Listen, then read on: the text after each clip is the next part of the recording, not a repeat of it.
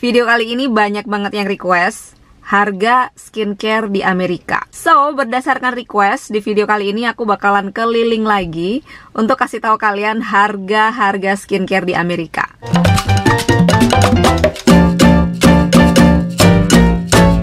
Mungkin sudah banyak yang tahu kalau di Amerika itu ada yang namanya drugstore brand. Uh, khususnya untuk makeup dan skincare ya. Kenapa disebut drugstore brand? Ya karena memang dijualnya itu di drugstore guys, alias di apotek. Jadi kebanyakan apotek di Amerika itu kayak convenience store gitu loh guys. Jadi dia nggak cuman apotek aja, dia nggak cuman jual obat-obatan aja, tapi dia juga jual barang-barang lain. Jadi kayak convenience store aja gitu. Dia jual make up, dia jual minuman, dia jual makanan, uh, kayak minimarket gitulah. Nah, toko pertama yang akan aku datangi ini adalah sebuah drugstore, sebuah apotek. Nanti kita lihat brand-brand skincare apa aja yang dijual di drugstore. Itu dia nama drugstore-nya adalah CVS Pharmacy, guys. Yuk, kita masuk. Oke, sekarang kita masuk ke bagian skincare di drugstore nih. Merek-merek yang ada di drugstore ini pasti kalian sudah banyak yang tahu uh, karena merek-merek ini juga dijual di Indonesia, uh, di seluruh dunia bahkan ya, kayak merek Olay ini pasti sudah pada tahu semuanya ya. Olay Regenerist ini di sini harganya 40 dolaran guys. Terus ada Olay uh, Serum, ini juga sama harganya 40 dolar, uh, beda tipis, beda sedolar. Sama nggak kayak yang di Indonesia guys. Terus ada L'Oreal nih, pasti udah pada tahu semua. L'Oreal Revitalift harganya 23 dolar. Terus ada L'Oreal Age Perfect Cell Renewal, ini harganya 28 dolar. Terus di sini ada merek namanya Rock atau ROC. Aku nggak tahu ini ada nggak ya di Indonesia ya. Uh, untuk moisturizernya ini harganya 30 dolar. Terus ini juga moisturizer juga sama uh, harganya berapa nih? 27 dolar. Terus ada Garnier, ini pasti udah pada tahu semua. Uh, Garnier yang micellar uh, water ya untuk yang isi 400 ml harganya 10 eh, dolar guys. Terus ada uh, Garnier Moisture Bomb uh, moisturizernya ini harganya 19 dolar. Terus di sini juga jual masker sheet mask banyak banget. Harganya dijual dari harga 3 dolar, 4 dolar, ada yang 5 dolar. Ya, sekitaran segitulah harganya. Terus ada merek Pixie guys di sini. Uh, merek Pixie ini aku juga nggak tahu ada nggak di Indonesia. Nah, untuk uh, Pixie Eye Serum ini harganya 24 dolar. Terus ada vitamin C lotion, ini juga harganya 4, uh, 24 dolar. Terus Pixie Cleanser, uh, pembersih wajah harganya 18 dolar. Terus ada Aveeno, I love Aveeno. Aku pakai lotionnya nih guys, Aveeno. Uh, untuk moisturizernya ini harganya uh, 25 dolar. Terus ini juga moisturizer juga, harganya 22 dolar. Terus ada La Roche-Posay, ini juga terkenal bagus mereknya, cuman aku belum pernah pakai sih La Roche-Posay. Uh, untuk uh, face washnya harganya 15 dolar, terus moisturizernya harganya 21 dolar. And then ada CeraVe. Nah, ini aku pakai facial cleansernya untuk CeraVe. Uh, ini harganya 17 dolar untuk yang medium ya itu kalau nggak salah. Terus untuk eye creamnya, uh, eye creamnya harganya 18 dolar. Terus ada Ceravel. Ini kemarin banyak banget yang nanyain harga Ceravel di Amerika berapa. Tuh harganya untuk moisturizernya 16 dolar. Terus night creamnya harganya 23 dolar. And then uh, ada eye cream. Aku baru tahu kalau Ceravel ada eye cream. Harganya 19 dolar, guys. Terus ada Neutrogena. Ini juga merek uh, drugstore kesukaan aku. Neutrogena Hydro Boost Moisturizer itu harganya 24 dolar. Terus yang uh, pink ini harganya 28 dolar guys. Terus uh, Neutrogena Wrinkle Repair harganya 29 dolar. Terus makeup removernya harganya 8 dolar. Nah, ini uh, section obat-obatan nih. Selain jual make up dan jual obat-obatan, uh, drugstore ini juga jual makanan. Terus dia juga jual laundry, sabun laundry. Terus dia juga jual majalah. Terus dia juga jual minuman beralkohol. Jadi nggak cuma jual obat guys. Oke, sekarang tujuan selanjutnya ke mana ya? Kalau kalian suka nonton beauty vlogger Amerika, mereka biasanya suka bikin uh, video review membandingkan antara makeup drugstore dengan makeup high end gitu ya. Jadi maksudnya makeup drugstore itu adalah makeup yang harganya murah gitu. Kalau merek-merek yang ada di Sephora itu pada umumnya adalah merek-merek high end. Jadi di Sephora nggak ada jual Maybelline atau L'Oreal guys. Nah, sekarang aku mau ke sebuah beauty store namanya Ulta. Yang tinggal di Amerika atau yang sudah pernah ke Amerika pasti sudah tahu ya Ulta. Nah, produk-produk beauty yang dijual di Ulta ini ada yang uh, drugstore brand, tapi ada juga yang high-end brand. Oke, okay, tinggal nyebrang aja ke sana, Ultanya di sebelah sana. Jadi ini aku lagi ada di sebuah kompleks pertokoan gitu, ada apotek, ada restoran, ada supermarket, segala macam. Oke, okay, aku sudah sampai di Ulta. Yuk kita masuk.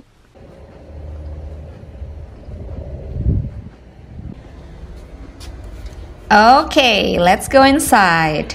Di Ulta ini ada merek yang namanya Number 7 guys. Dia punya Restore and Renew Serum, harganya 34 dolar. Terus dia juga punya Line Correcting Serum, harganya 42 dolar. Yang lainnya juga segituan harganya rata-rata. Dan di sini juga ada klinik. Ini pasti udah pada tahu ya.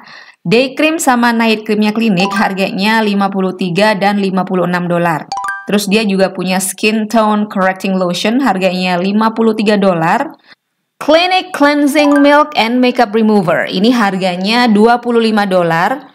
Terus klinik juga punya cleansing mask, ini harganya 26 dolar. And then move on to Estee Lauder. Estee Lauder punya day cream, ini harganya 55 dolar, guys.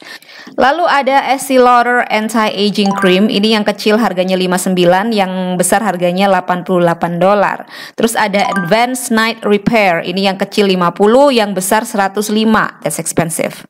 Move on to Kylie Skin by Kylie Jenner. Dia punya face wash harganya 24 dolar. Dia punya milk toner harganya 22 dolar. Dia juga punya 5 piece skincare set harganya 38 dolar. That's not bad. Lalu ada merek Tula, dia punya face cleanser, ini harganya 28 dolar. Dia juga punya eye balm, harganya 28 dan 30 dolar. Terus dia punya moisturizer, ini harganya 24 dolar. Lalu ada merek Purity, facial cleansernya harganya 48 dolar untuk yang 22 ounces. Kemudian ada Purity Moisturizer, ini harganya 28 dolar. Kemudian ada merek Philosophy, ini cukup populer juga ya. Dia punya Instant Glow Facial Peeling Mousse. Ini harganya 35 dolar, guys. Dia punya serum juga harganya 45 dolar. Kemudian dia punya moisturizer, hyaluronic moisturizer 39 dolar. And then there is refreshing and refining moisturizer 14 dolar. Please do not touch due to COVID. And then there is night cream. Night creamnya ini harganya 82 dolar. What? That's so expensive. Two ounces? Ya udah, move on ke Lancome. Lancome punya eye cream dan eye serum harganya 70 dolar. Dia punya anti-aging serum harganya 80 dolar. Kemudian dia punya uh, skin solution vitamin C 65 dolar. Dia juga punya day cream harganya 105 dolar. Ya ampun, cek larangnya. 105 dolar untuk day cream. Baiklah. Kemudian ada Shiseido. Nah, ini pasti sudah pada tahu Shiseido. Ada day cream sama smoothing creamnya 70 dolar, eye creamnya 64 dolar. Kemudian dia ada serum yang kecil 75, yang besar 140. And then ada merek Murad di sini. Ini cukup populer juga ya. Serumnya harganya 89 dolar, kemudian ada cleansing cream itu harganya 40 dolar. Dia punya moisturizer harganya 62 dolar. Oke, okay, move on to Clarins. Clarins. Harga day creamnya Clarins di sini 129 dolar, night creamnya 137 dolar. And then dia punya Rebus moisturizer, ini yang kecil harganya 26 dolar, guys. Next, ada Proactive Toner dan cleansernya harganya 25 dolar, repairing treatment 35 dolar. And then ada Mario Badescu. Aku pernah nyoba beberapa produknya. Ada yang suka, ada yang enggak. Dan harganya itu tergolong murah ya. Kayak night creamnya ini harganya 22 dolar. Terus dia punya mask harganya 20 dolar. Dia punya eye cream harganya 18 dolar. Masker vitamin C-nya harganya 22 dolar, terus moisturizernya harganya 30 dolar. Good price. Oke, aku dapat satu item dari Ulta, guys. Nanti kita buka ya. Uh, sekarang ini aku lagi ada di depannya Costco di tempat parkirnya Costco. I don't know if you guys can see. Tuh. Costco. Jadi Costco ini adalah uh, kayak semacam pusat grosir gitu ya. Jadi dia jual barang-barang dalam jumlah besar. Dan uh, Costco ini adalah tempat favorit aku untuk belanja apa aja sih, nggak cuma skincare aja. Dia dia juga punya skincare di sini. Dan skincare yang dia jual itu adalah eh, rata-rata uh, adalah drugstore skincare. Cuman karena dia sistemnya membership ya. Uh, jadi kayak mungkin kayak apa ya? Kayak makro gitu kali ya kalau di Indonesia ya. Jadi kadang-kadang harga yang di Costco ini lebih miring daripada harga yang di drugstore. Yuk kita bandingkan harganya ya.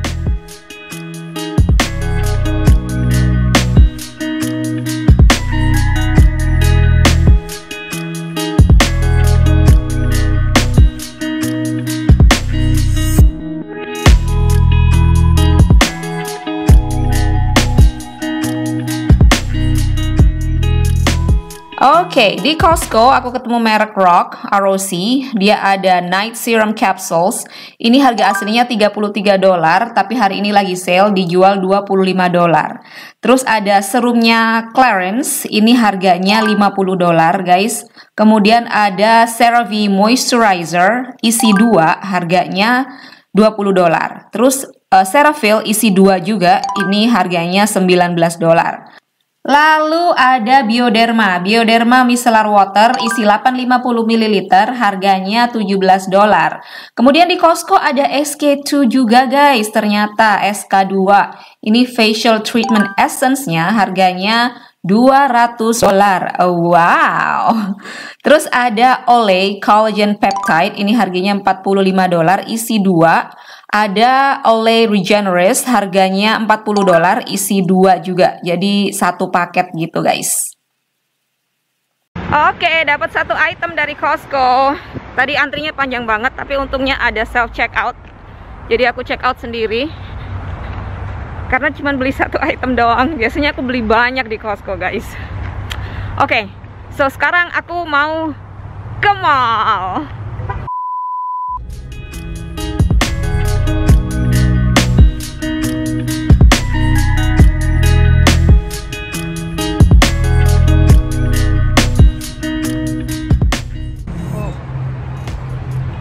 Aku barusan sampai di mall. Kita lanjut berburu skincare. Yuk.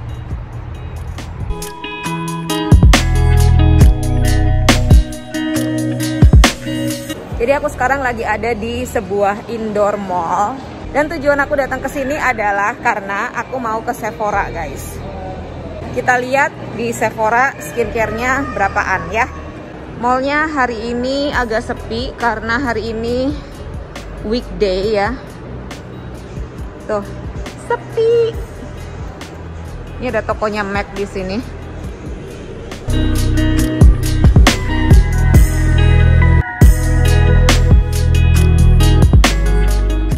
Produk pertama yang aku temui di Sephora adalah produknya Tarte. Dia punya toner harganya 39 dolar.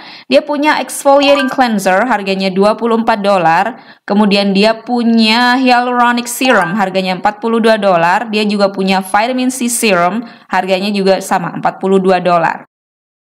Merek Sephora juga punya skincare produk loh. Day cream sama night creamnya itu harganya cuma 17 dolar guys. That's a pretty good price, right? Dia juga punya kayak skincare set gitu, harganya cuma 20 dolar. Terus di sini juga ada merek Fresh. Eye creamnya Fresh harganya 68 dolar. Terus dia punya firming serum harganya 78 dolar, sorry 75. Terus dia punya day cream sama night cream masing-masing harganya 48 dolar. And then move on ke merek yang lagi ngehits yaitu Tatcha. Dia punya serum, ketiga serum ini eh, masing-masing uh, harganya 88 dolar guys. Kemudian dia punya cleansing oil harganya 48 dolar. Di Sephora juga ada merek Origins. Ini merek yang cukup populer ya. Dia punya masker. Uh, kalau nggak salah ada 4 jenis masker ya. Kayak gini. Ini harganya masing-masing 27 dolar guys. Kemudian dia punya moisturizer, gel moisturizer. harganya 31 dolar. Kemudian dia punya Scrubly Cleanser itu harganya 23 dolar. Kemudian dia punya Tinted Moisturizer harganya 41 dolar. Jadi di sini pada ditulisin nggak boleh pegang dan ada beberapa yang uh, nggak uh, ada list harganya gitu. Jadi mungkin nanti aku lihat di websitenya mereka aja ya tapi aku nggak bisa lihat kayak ingredientsnya gitu. Aku harus harus lihat online guys. Karena tidak boleh dipegang semuanya. Dapat satu barang doang guys. Oke okay, abis ini ke mana lagi ya? Pulang kayaknya. Hai, akhirnya aku sudah sampai rumah. Sekarang aku mau haul sebentar apa aja yang aku dapat dari hasil berburu skincare hari ini. Oke, jadi tadi aku ke drugstore yaitu CVS, yang kedua aku ke Ulta, terus yang ketiga aku ke Costco, terus aku ke Sephora. Ya, jadi ke empat toko guys. Oke, hasil belanjaan yang pertama dari drugstore ya. Aku beli ini guys. L'Oreal Collagen Moisture Filler. Ini harganya 16,49. Jadi let's say 17 dolar lah ini harganya. Aku memang pakai ini setiap hari guys. Biasanya aku beli ini di Amazon. Dan di Amazon itu aku cuma bayar 17 dolar sekian, dapat dua guys. Ukurannya sama loh, yang isi 48 gram. Same size. Jadi jelas di Amazon lebih murah daripada di drugstore. Kok bisa ya? Jadi ini aku bakal balikin karena mending beli di Amazon guys. Oke, selanjutnya aku pergi ke Ulta tadi ya. Di Ulta aku cuma beli satu item juga sih. Aku beli ini mereknya Mario Badescu guys. Jadi ini aku beli kayak uh, facial spray set gitu. Jadi ada facial spray with uh, cucumber and green tea. Terus yang tengah itu facial spray with rose water. Terus yang ketiga itu facial spray with uh, chamomile and lavender ini biasanya aku cuma pakai yang rose waternya doang. Aku belum pernah pakai yang kanan dan kiri ini belum pernah. Dan aku penasaran pengen coba karena aku suka banget sama rose waternya dia guys. Ada harganya di sini guys. Ini harganya 21 dolar. Jadi uh, seperti biasa kalau di Amerika beli apa-apa harus bayar tax. Jadi tadi aku bayarnya itu 22 sekian gitu. Hampir 23 dolar ya. Jadi 21 plus tax oke terus aku tadi pergi ke Costco ya di Costco aku dapat satu item yaitu ini dia. Ini um, apa namanya kayak eye cream gitu guys, krim untuk mata. Uh, mereknya itu Strivectin. Strivectin. Aku nggak tahu ini bacanya benar apa nggak. Strivectin. Ini nih mana sih mereknya? Ini dia mereknya. Nah itu dia mereknya guys. Strivectin. Terus ini dapat dua, yang kecil sama yang besar eye creamnya. Uh, jujur aku belum pernah pakai ini karena aku biasanya pakai Neutrogena. Uh, tapi aku pengen nyoba aja. Ini harganya 27 dolar, 28 dolar uh, ditambah tax. Jadi aku bayarnya 30 dolar sekian. Oke, okay? eye cream ya, krim mata. Aku nggak tahu ini ada nggak mereknya di Indonesia. Aku baru aku baru denger merek ini dari Costco guys. Sebelumnya aku belum pernah denger merek Strivectin ini. Let me know kalau kalian tahu mereknya atau enggak. Yang terakhir, tadi aku ke Sephora. Aku cuman beli masker doang di Sephora. Uh, maskernya Tatcha, guys. Ini dia. Sheet mask. Satu bijinya 12 dolar. Mahal juga ya. Ini sering banget ya di review sama beauty vlogger. Dan kayaknya semua reviewnya bagus gitu jadi aku penasaran tapi harganya mahal juga loh satu biji 12 dolar biasanya kalau sheet mask yang biasa ya yang uh, drugstore itu paling berapa 3 dolar 4 dolar gitulah ini tiga kali lipat harganya. Oke, okay, jadi itu aja guys uh, belanjaan aku hari ini. Let me know if you guys like this kind of video.